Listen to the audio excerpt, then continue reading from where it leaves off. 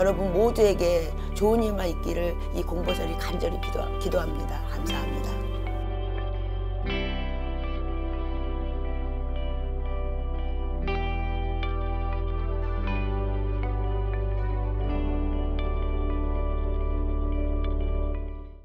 이번 시간에는 누군가의 덕이죠.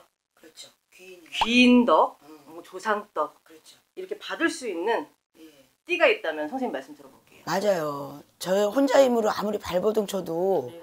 참 살아가기 힘든 세상이잖아요. 많지는 않아요. 네. 음, 32살 경호생 분들. 이분들 초반에는 조금, 어, 힘- 약간, 아, 힘들다, 힘들다 소리가 나오는데 중반 이후로 가다 보면 이런 귀인들이 자연스럽게 들어오면서, 어, 조금 금전운이 확 이렇게 개운이 되는 분들이 많이 보이시고요. 60세 이민생 여러분들도 마찬가지예요. 초반에는 조금 힘들더라도 후반부에 가면은 귀인의 도움으로 확 개운이 되는 그런 금전운이 확 열리는 운이에요. 이민생 여러분들. 그리고 우리 62세 경자 62세 경자년 여러분 어, 경자생. 경자생 여러분 이분들은 경자생 이분들은 사업하는 분 많으신가 봐. 어, 이게 돈이 많이 보여요.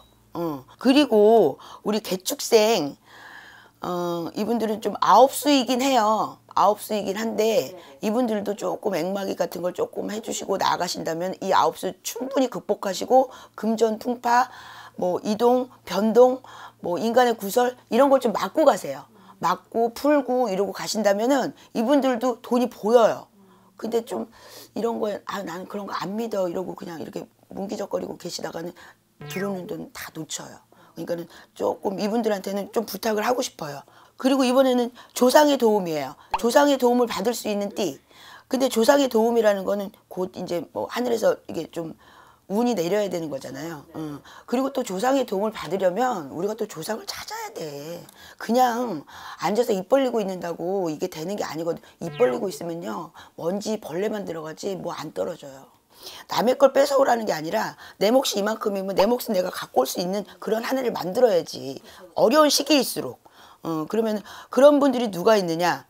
우리 저기 개생 분들 있죠. 서른아홉 살 이분들 아홉수라고 해서 안 좋다고 그렇고 그러고 있지 마시고요. 이분들 금전도 열려 있고 인간 문서운도 열려 있어요. 근데 중요한 거는 어, 이분들이 좀 아홉수라서 그런지 인간의 다툼이 많이 보여요. 어, 그러니까 좀 약간 좀 맞고 정성을 들이고 맞고 좀 가셨으면 좋겠고요. 우리 46세 병신생 여러분 사업운도 괜찮고 금전운도 열려 있어요. 예, 조상님들 잘 위해서 잘 받아가세요. 그리고 51살 신혜생 여러분들 이분들도 금전운 열려 있거든요. 예, 금전운 열려 있으니까 잘 받아가시고요. 52살 경술생 여러분 이분들은 조금 음, 그동안은 조금 금전 갖고 좀 속도 태우고 애도 태웠다 그래요. 근데 올해 이렇게 금전운이 열려 있을 때는 조상한테 아부를 많이 하세요. 받을 수 있을 때 받아야지. 받을 수 운이 안 들었을 때는요. 굳세어라 금수나 눈보라를 막 헤쳐나가도 내가 잡을 수가 없어. 그리고 62세 이분들은 아까 뭐 저기 귀인의 도움도 있었고요. 네, 네. 귀인의 도움도 물론 조상의 도움이지만 이분들은 조상 도움도 굉장히 커요. 조상 좋네요. 덕도, 음, 조상 덕도 굉장히 커요. 그래서 이 62세 여러분 올해 귀인의 운도 들고 조상 덕도 볼 수 있는 그런 한 해 아주 그냥 제, 내, 내 금전은 제대로 찾아 먹으세요. 을미생 여러분 이분들 같은 경우에는 좀 성주 대운을 좀 크게 받으셔갖고 아주 그동안 고생한 거 다 싹 잊으시고 성주 대운을 받으셔갖고 그냥 금전 내, 내 몫의 금전을 확 챙기세요. 갖고 싶어도 못 가졌고 남한테 양보하고 그동안 너무 애쓰셨어요. 올해는 내 거 좀 챙기세요. 그리고 78살 갑신생 분들 아까도 이분들 저기 대박사주에 있었거든요.